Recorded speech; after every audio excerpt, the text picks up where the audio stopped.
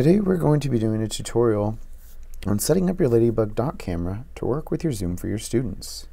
The first thing you're going to need is a USB Type A to USB Type B cord.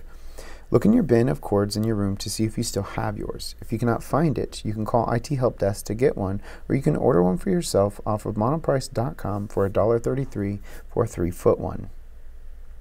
Then you're going to want to plug in the USB Type A side of your cord into the square port into the back and plug in the other side into your Mac. You should now be ready to begin setting up your Zoom call. Let's begin setting up your Ladybug Doc Cam software that you have on your Mac. If you don't see it, search self-service and download it. So once you have that done, we're going to go and find our Ladybug uh, app or program on your computer and it looks just like this. If you don't have it, you can download it from the uh, district app store. Okay, so click on Ladybug and that will open it up to a screen, but you will not be able to see anything. So to do that, we need to enable it. So you go up to your little ladybug here and then click here, and that will enable you to be able to see your screen. So we can move this out of the way. So if you still don't see anything at this point on your uh, Ladybug itself, just keep, keep clicking source until it does show up.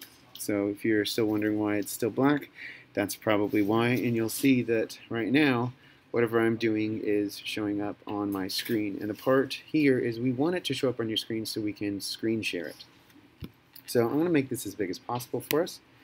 I'm going to move that out of the way here. And I'm going to go back into uh, Zoom. So here's the part where it allows uh, our students to see what we're writing on from our Ladybug.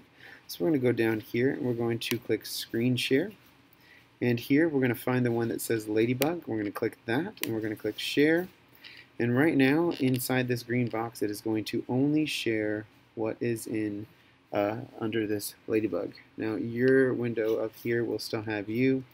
Um, and this is only the thing that's being shared, and that's what's going to see on the student's screen. So that's what they'll see. So you don't have to worry about your Zoom at the moment.